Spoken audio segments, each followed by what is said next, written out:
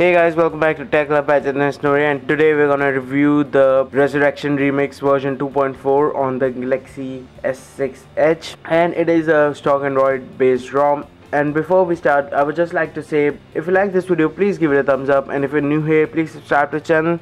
And don't forget to share the videos. And once again do not forget to subscribe to the channel and help us reach our goal of 1000 subscribers and let's get into it. So first of all the ROM comes with the Pixels launcher which I really love. The Pixels launcher looks really clean and simple so that is a great thing to have. And as you can see that the ROM is fast and responsive and everything is fast and you do not encounter any of the lag so that is a great thing. But I do recommend scaling down the animation scale like I always do by going into the developers option and going down until you see window animation scale transition animation scale and animator duration scale.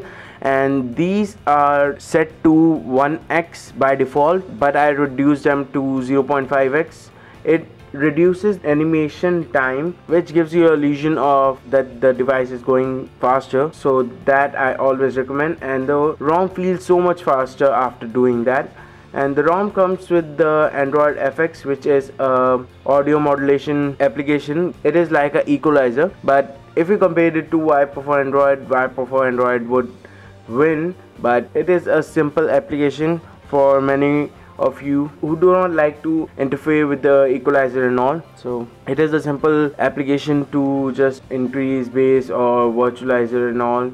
So the camera app does not have much to offer you have only the camera mode simple camera mode you have the simple video mode you have options over here some and that's it with the camera app.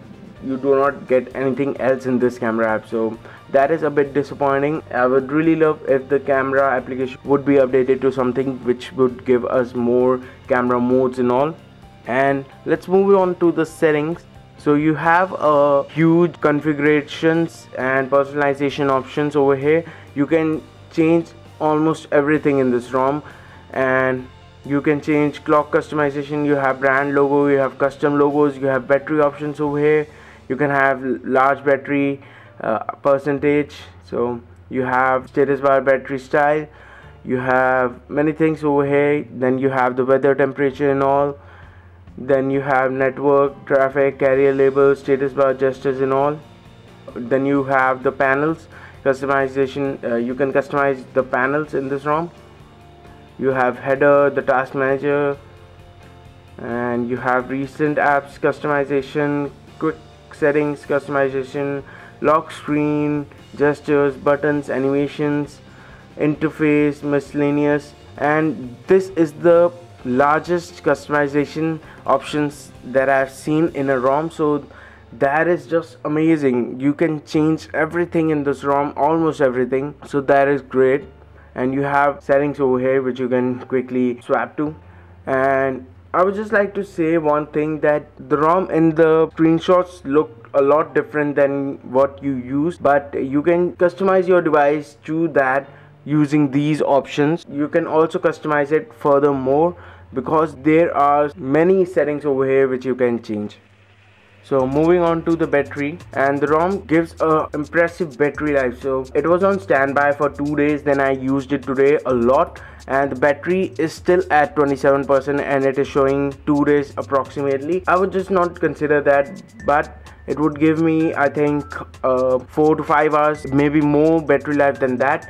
So the battery life on this ROM is just amazing and you have the power saving modes over here if you want to extend that even further and I would just like to say one thing that the apps freezes sometimes. Like this the screen will go black and it will just crash. So sometimes it happens sometimes it doesn't.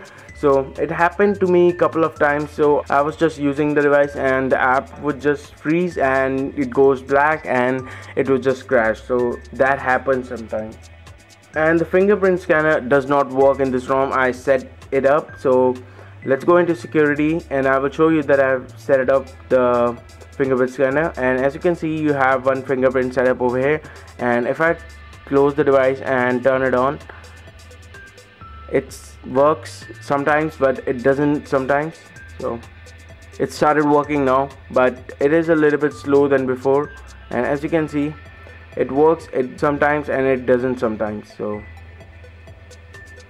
and as I'm using it it is getting faster and it is making me look like a fool. But believe me it does not work sometimes and let's go into the about device and as you can see you have the model number of the Galaxy S6 Edge. And you have the Android 7.1.2 which is the latest. So that is great. You have the latest security patch as well. So that is great too. So the VoLTE is not working in this ROM either.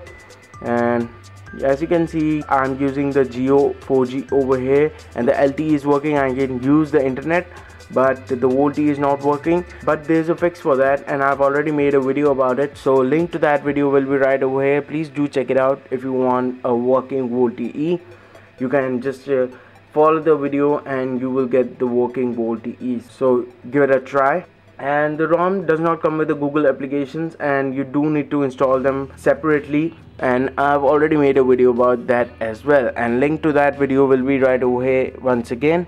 And do check it out and it is really easy. You can download them and you can just follow the video and it would be really easy to install them. But if you think that the video is outdated do let me know and I will make a new one so i think that's it. If you like this video please give it a thumbs up. And if you're new here please subscribe to the channel. And don't forget to share the video. And thanks for watching guys